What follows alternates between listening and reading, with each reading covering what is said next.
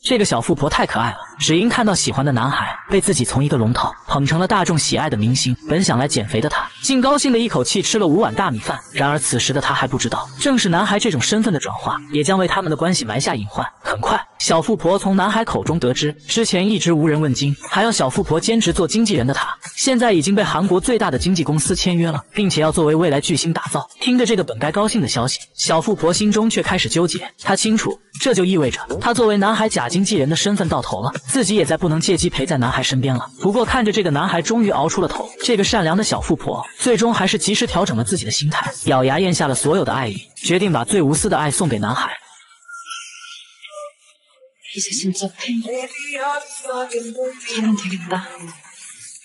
就这样，小富婆开始了无私的行动，不仅每天默默给男孩所在剧组送去各种美食，更是自掏腰包买下了地铁的广告，帮男孩宣传造势。看着小富婆这无私的付出，原本木讷的男孩似乎明白了什么。然而让男孩没有想到的是，当他尝试着试探两人的关系时，小富婆却说只是粉丝的关心。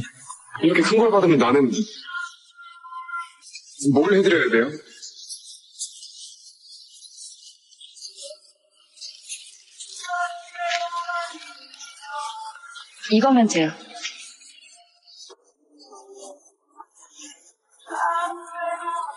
看着小富婆坚决的态度，男孩只能失望的离开了。可此时的男孩哪里知道，小富婆并不是不爱他，只不过为了能更好的让他能完成梦想，不让他们之间将要发生的恋情成为影响他事业的绊脚石，小富婆选择了一种最无私的方式在爱他，那就是你若安好，便是晴天。你只管大鹏展翅，尽情飞，有姐姐在为你保驾护航。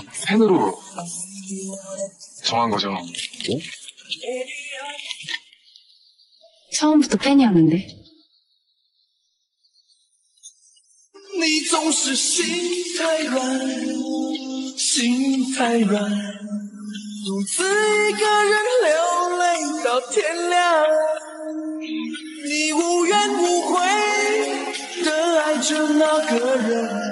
我知道你根本没那么坚强。